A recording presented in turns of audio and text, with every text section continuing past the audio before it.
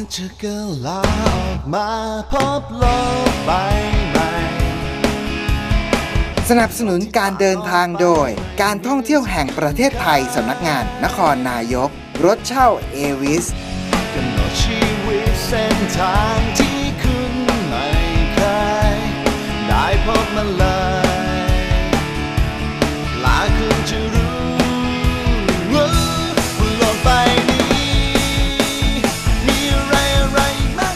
คุณผู้ชมฮะตอนนี้ผมเดินเข้ามาข้างในนะครับ ชั้นในชั้นในแล้วครับคำว่าชั้นในเนี่ยชั้นนอกเนี่ยจะมีระเบียงอ่าเป็นกำแพงแก้วใช่ไหมแล้วก็เดินเข้ามาอีกก็จะเจอเสานางเรียงอีก 13 คู่นะครับ ซ้ายขวานะครับ แล้วก็จะเจอกับระเบียงคดพี่ขับระเบียงคดเนี่ยมันก็เหมือนเหมือนเป็นกำแพงชั้นในอีกชั้นหนึ่งใช่ไหมใช่ครับเขาทำไว้เพื่ออะไร เพราะว่าในระเบียงคดนี่มันมีทางเดินได้ด้วยอะครับ มันมันเป็นทางตันนะฮะ ไม่สามารถเดินทะลุกันได้ ไม่ได้ครับ เป็นทางตันอ๋อนะฮะคราวนี้ตัวเนี้ยอ่า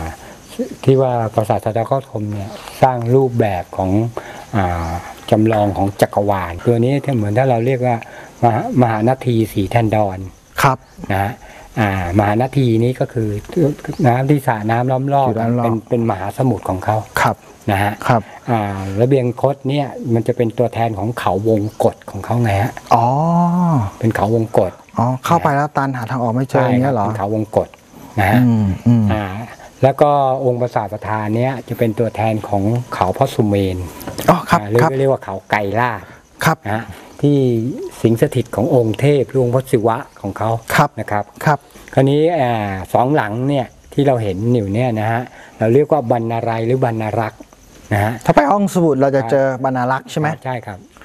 ก็มาจากคำนี้เลยคำนี้ครับเขามีไว้เก็บเก็บตำราคัมภีร์คัมภีร์ครับ เวลากษัตริย์เขาจะมาทำพิธีน้ำน้ำศักดิ์สิทธิ์ อ่าน้ำศักดิ์สิทธิ์ครับ นะฮะก็ปีหนึ่งคงอ่าเขาจะมาทำครั้งหนึ่งครับ นะฮะอ่าที่เราจะเห็นว่าตรงฉนวนทางเดินตรง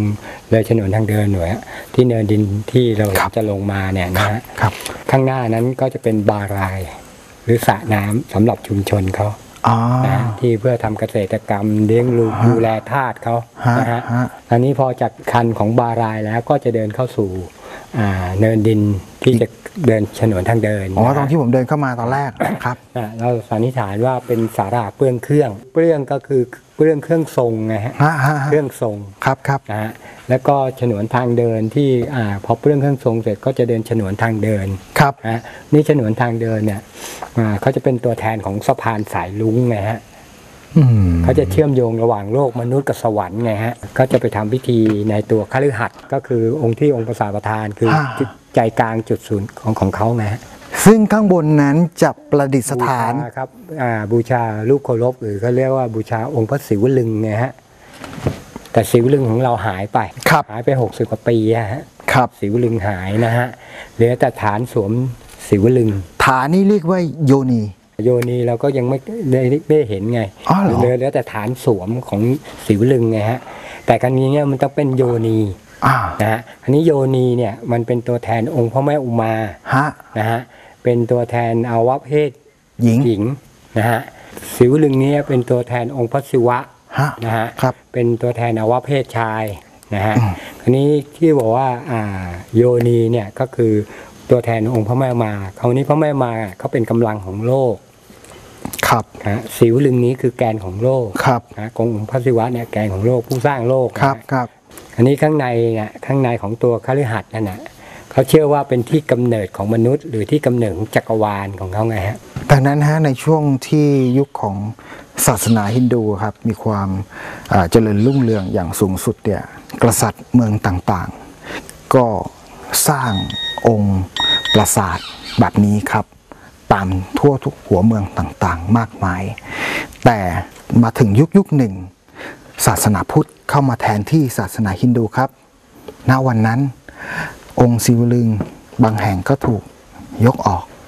ถูกไหมครับครับแล้วก็ถูกประดิษฐานด้วยพระพุทธรูปแทนครับ เดี๋ยวผมพาขึ้นไปดูที่องค์ปราสาทใหญ่ครับว่า ฐานที่เคยประดิษฐานโยนี แล้วก็องค์ศิวลึงนั้นหน้าตาเป็นยังไงครับ ตามมา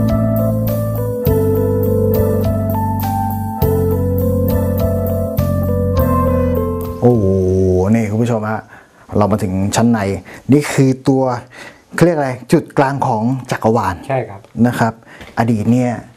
ตรงกลางนี้เคยเป็นที่สวมของสีวลึงซิลลิงซึ่งเป็นตัวแทนขององค์พระศิวะนะครับ แล้วก็แท่นยุนก็จะอยู่ด้านล่าง ตอนนี้ก็ไม่เหลือละแล้วนี่เป็นโครงสร้างของของของโบโบราณของเดิมเลยหรือเปล่าเดิมครับของอ๋อนี่คือของเดิมเลยครับนี่ของเดิมไม่ครับไม่มีชิ้นไหนที่สร้างขึ้นมาทดแทนไม่มีครับโอ้ ก็เป็นบุญตานะคุณผู้ชมนี่คือของเก่าแก่เป็นพันๆปีเลยนะครับ เวลาเขาทำน้ำเนี่ยเขาจะเทน้ำไปบนหัวสิวลึงอืมน้ำจะไหลออกโยนีอืมนะก็จะออกท่อสมประสูตนี่นะฮะเห็นท่อสมประสูตรไหมแต่นะคำว่าสมประสูตรกับคำว่าสมสู่นี่เหมือนกันไหมผมผมผมผมไม่ได้ประสูตรเนี่ยประสูตรน้ำออกไป เหมือนกันก็คือเกิดครับสมประสูก็คือทำให้เกิดขึ้น ออกรูนี้เอานี่รูข้างนอกครับรูเก่าออกไปประตูเก่าครับอ๋อ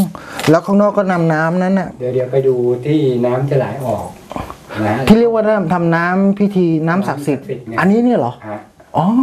ก็ก็จะไปเอาไปให้พวกประชาชนเขาเนี่ยได้ดื่มเขาก็จะมีพลังชีวิตเนาะครับ เพราะว่าเขามีความศรัทธาความเชื่อในยุคนั้น ครับ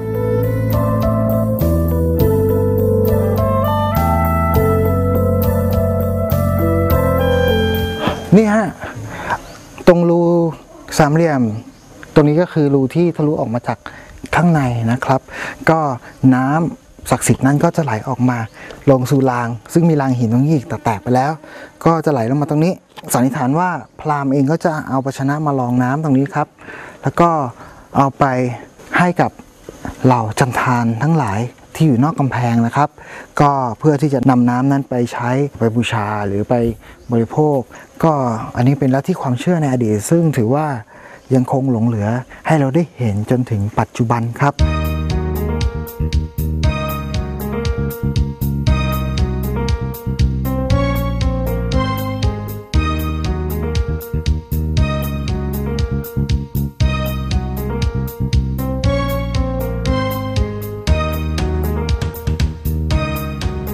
หลังจากวันนี้ฮะพาคุณผู้ชมมาฟังเรื่องเล่าคลาวประวัติศาสตร์แล้วนะครับ ก็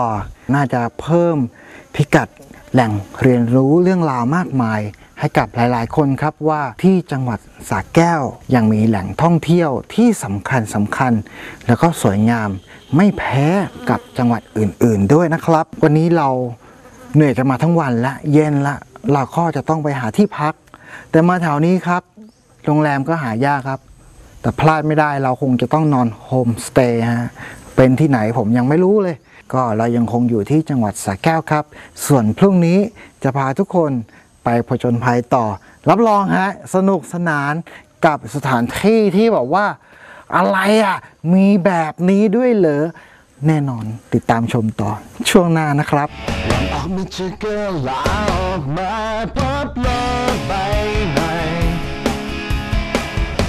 ที่ต่างออกไปไม่เหมือนที่คุ้นเคย